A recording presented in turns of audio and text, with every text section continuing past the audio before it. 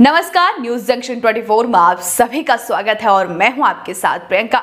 तो आखिरकार लंबा इंतज़ार अब खत्म हुआ। दो साल के कोरोना काल के बाद आखिरकार केदारनाथ धाम के पट खुल ही गए। बाबा के दर्शन के लिए यहाँ हज़ारों की तादाद में श्रद्धालु अभी से पहुँच रहे हैं। तो आप भी पूरी रिपोर्ट देखिए। केदारनाथ यात्रा शुरू होने से पहले दिन ही धाम में आस्था का जन सैलाब उमड़ पड़ा। सुबह जब कपाट खुल रहे थे तो मौके पर धाम में दस हज़ार से अधिक श्रद्धालु मौजूद रहे। दिन भर यात्रियों के गौरीकुंड से केदारनाथ पहुँचने का सिलसिला भी जारी रहा। यही वजह है कि शाम तक दर्शन करने वालों की संख्या तेईस हज़ार को पार कर गई। बीते दो वर्षों में कोरोना संक्रमण के चलते केदारनाथ यात्रा व्यवस्थित रूप से संचालित नहीं हो पाई। कोरोना संक्रमण बढ़ जाने के कारण धाम के कपाट तय तिथि पर खोले जाने के बावजूद यात्रा प्रतिबंधित कर दी गई। संक्रमण कम होने पर दर्शनों की अनुमति तो दी गई, लेकिन शर्तों के साथ। नतीजा, सीमित संख्या में ही श्रद्धालु केदारनाथ धाम पहुँचे।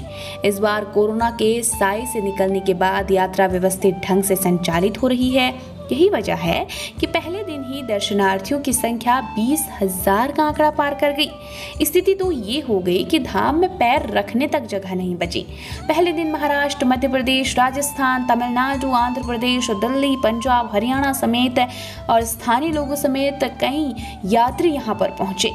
यात्रा पर तुलनात्मक दृष्टि डालें तो वर्ष 1988 से लेकर निन्यानवे तक एक से डेढ़ लाख यात्री ही प्रतिवर्ष बाबा के दर्शन को पहुँचते थे। जबकि वर्ष 2000 से लेकर 2005 तक के यात्रियों की संख्या प्रति वर्ष ढाई से तीन लाख हो गई। 2006 से यात्रियों की संख्या में वृद्धि होने लगी। 2012 में तो अत्यधिक बर्फबारी के बावजूद 5.73 लाख यात्री यहाँ पहुँचे और 2013 में आई भीषण आपदा से यात्रा पूरी तरह से ठप हो गई। हालाँकि इस वर्ष आपदा से पूर्व तीन लाख दस हज़ार के पार यात्री दर्शन कर चुके थे।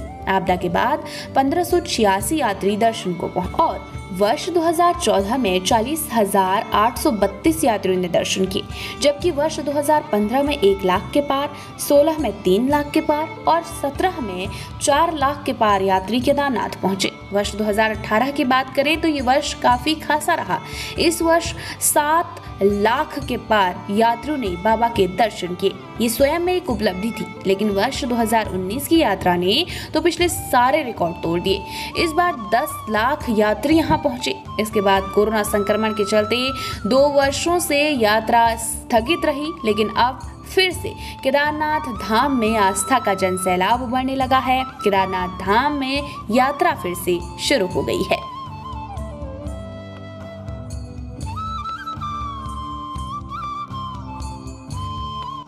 आप आज सुबह भगवान केदारनाथ जी का डोली पाटा से प्रस्थान करके आज शाम विश्रांति गौरीकुंड गौरी माई के मंदिर में प्रवेश हो गए।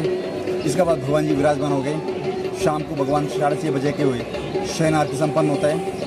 शयन आरती संपन्न होने के बाद कल सुबह मॉर्निंग भगवान केदारनाथ जी का और गौरी माई की अभिषेक, पूजा पाठ, आरती और भगवान का भोग एक ही टाइम पे लगता है।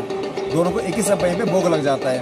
उसका बाद भगवान जी अपना पालकी में विराजमान होके माँ भगवती को विदा बोल के भगवान जी अपना कैलाश की यात्रा पे प्रस्तावन करेगा। कल शाम तक भगवान केदारनाथ जी धाम में पहुंचेगा। छः तारीख सुबह छह पच्चीस में भगवान केदारनाथ के कपाट विष्णु के लिए खुल जाएँगे। सभी यात्रियों के लिए स्वागत और सुस्वागत है और मंदिर मंदिर समिति की तरफ़ से और उत्तराखंड की तरफ़ से सबके स्वागत है। जय श्री केदार। तो फ़िलहाल इस खबर में इतना ही। हर लेटेस्ट खबर को देखने के लिए देखते रहिए न्यूज़ जंक्शन 24 नमस्कार।